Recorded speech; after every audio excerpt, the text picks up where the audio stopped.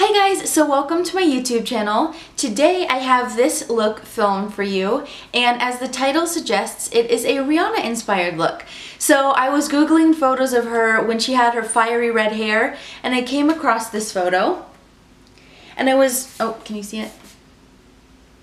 and I was super inspired by it because I thought that it was so cute but sexy at the same time because you have that red look and that sort of bed head like loose waves um, like piled on top of your head, but then you have that cute little headband as well with the bow. So I thought that it would be a super fun look to film. Um, I didn't show you how I did the hair, but all I did was curl it and then I put it um, in a ponytail on top of my head and then I sort of just bobby pinned the like stray pieces up so that they were really just like loose sitting on top of my head and then I left a few strands of course loose in the face and then added the headband. So it's actually really easy, um, the hair part's really easy to do and the makeup is actually pretty simple too.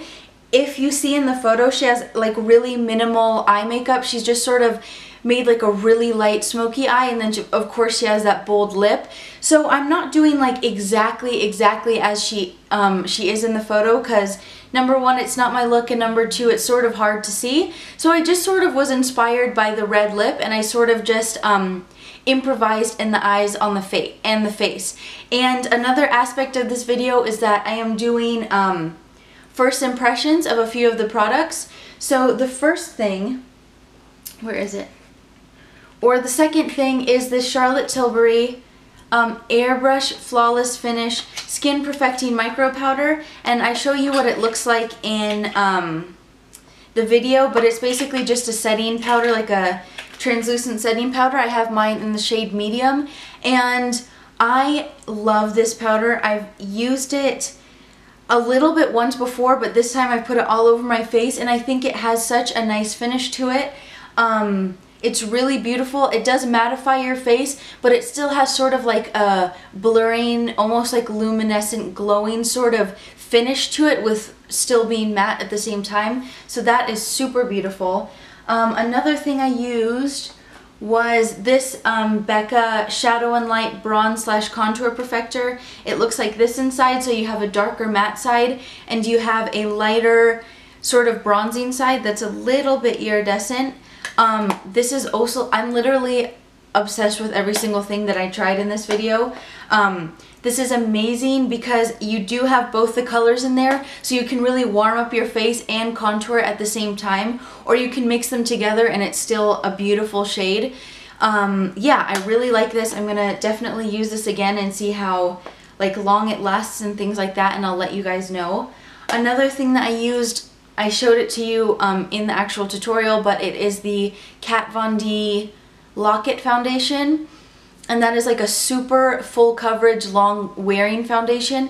And so I can't um, contest to the long wearing, but the finish is really nice. Even though it is really full coverage, it still has like a really nice um, natural look on the face. It's not powdery or, or anything like that. And it also feels really nice on the face. It doesn't feel like those full coverage foundations where you feel like you don't even like feel your skin anymore. So it actually is really comfortable. And um, I will put down below um, how long wearing it is. So I'll wear it all day and I'll see how it lasts.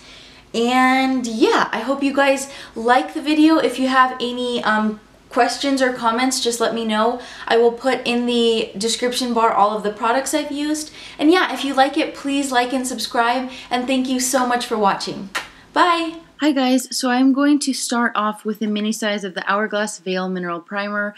I am putting so much on my face, I don't know why, but I'm going to use my hands to rub that in. Then I'm using the Kat Von D Lock-It Foundation, as I told you earlier um, in the intro and I am in the shade Light 45 and since it is so high coverage I'm going to start off with just one pump and buff that into my face with a dry Real Technique sponge then use a second pump for the rest of my face. So I'm starting off with the Urban Decay Naked Weightless Skin Concealer in Light Warm and I'm putting that under my eyes because as you can see in the Rihanna photo she has super bright under eyes.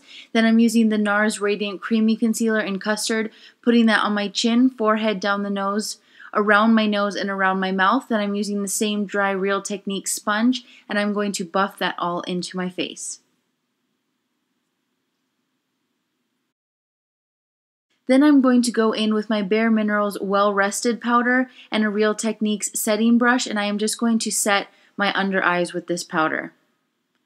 You might have seen in my other videos I've used this, but this is my favorite under eye setting powder because it's so brightening. Then I'm using my Laura Mercier um, Secret Camouflage palette and a Tarte liner brush. I am mixing the two colors in the SC3 palette, and I am just basically going to start pinpoint concealing. Then I'm using the Charlotte Tilbury um, Skin Perfecting powder in the shade Medium 2, and I'm using a Real Techniques powder brush, and I am buffing my T-zone. Then I'm using this Becca Shade and Light uh, Contour sort of bronzer with a Real Techniques blush brush. And I'm using the light shade to warm up my um, face, so basically my forehead and my jawline areas like that. Then I'm going to use this e.l.f. complexion brush and I am going to use the dark side and I'm going to contour my face with that. Then I'm taking this Real Techniques foundation brush and using the dark side down my nose and this e.l.f concealer brush and buffing that out to contour my nose. Then I'm using this um, blush by Becca with a Sonia Kashuk blush brush. This blush is in the shade Flower Child, so it's a nice pinky gold shade. Then I'm going to use um, Champagne Pop by Becca, the Jaclyn Hill color, and I'm going to use a contour brush by Real Techniques and highlight my forehead a little bit, my cheekbones, and my cupid's bow. Then I'm going to use this NARS uh, matte velvet lip crayon in the shade Cruella, and then the Marc Jacobs red lipstick um, that you get with the VIB Rouge kit um, from Sephora, and it is in the shade uh, So Rouge, I believe it's called. Then I'm going to do my eyebrows with Anastasia, the Brow Wiz in taupe, and the gel in um, caramel, and I'm going to do my eyebrows really quick with those. Then I am going to use the Shade and Light palette by Kat Von D, and I'm going to use the Eco Tools blending brush, and I'm going to start off with the shade Lazarus. So it is a gray tone, um, just a light gray tone, and I'm going to start buffing that into my crease, um, back and forth, windshield wiper, circular motions, just to add some definition to my crease.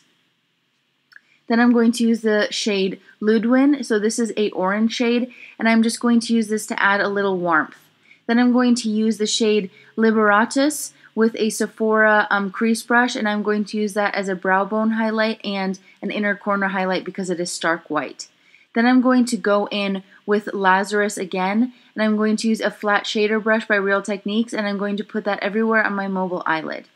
Then I'm going to use that Liberatus again with a flat blending brush by Eco Tools and I'm going to just um, fix my uh, brow bone and inner corner highlight and make sure that they're really bright. Then I'm going to use the Eco Tools blending brush again and go in with Ludwig and just keep buffing out my crease.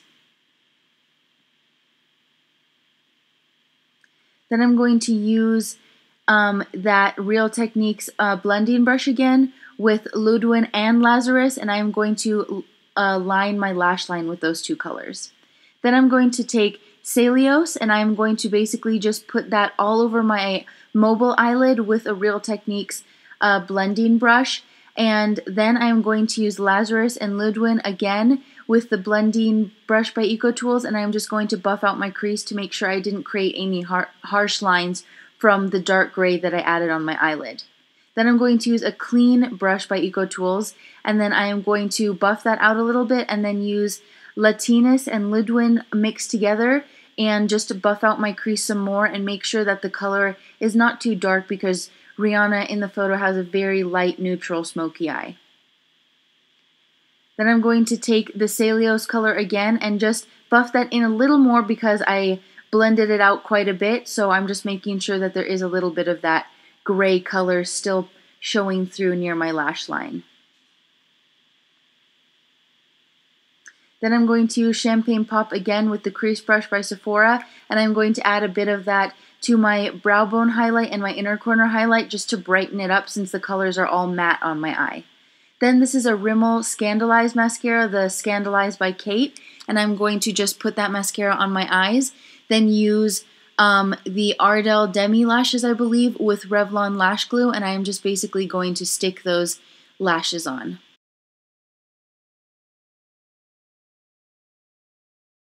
Then I'm going to use this black felt tip liner by Sephora and I am going to line my upper lash line on the inner third of my eye just to make sure that my fake lashes blend in seamlessly with the rest of my eye. Then I'm going to take that Rimmel ScandalEyes mascara again and coat my lower lash line with it. Then I am done and this is the finished look. I hope you guys like it.